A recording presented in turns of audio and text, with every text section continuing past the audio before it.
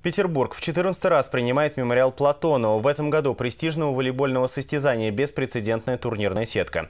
За титул борются сразу семь клубов Суперлиги, главного дивизиона российского чемпионата. А также сторожил соревнований финский клуб из Кувалей. Как раз страна Тысячи озер и подарила громкие новостные заголовки в первый же игровой день.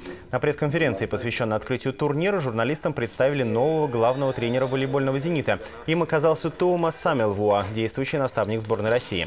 В этом году финский специалист уже пробился с главной командой страны на Олимпиаду, а также выиграл Лигу наций. И теперь будет совмещать два тренерских поприща. Я тоже очень рад э, начинать что-то новое.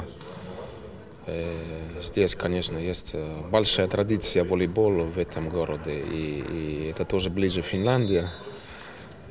И, и пока у меня все мысли в сборной России.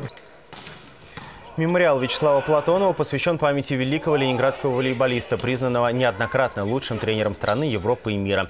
Кто поднимет над головой престижный кубок имени прославленного наставника, станет известно в воскресенье, когда команды выявят сильнейшего в финале турнира.